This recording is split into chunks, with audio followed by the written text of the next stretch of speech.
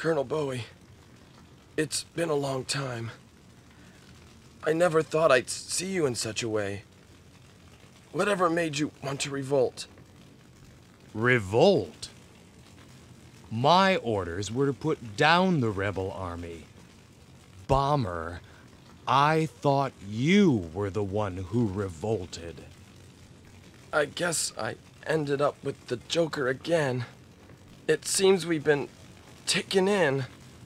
You mean someone invented a story that my troop was revolting? It was the same way in the final zone operation. Someone's trying to get you. Me? Who? Who knows? But you are an able officer.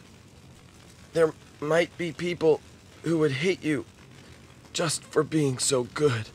What are you saying? I'm just a soldier. I've never done anything to make enemies. You would say that. My eyes are failing. I'll be happy to die by your hand.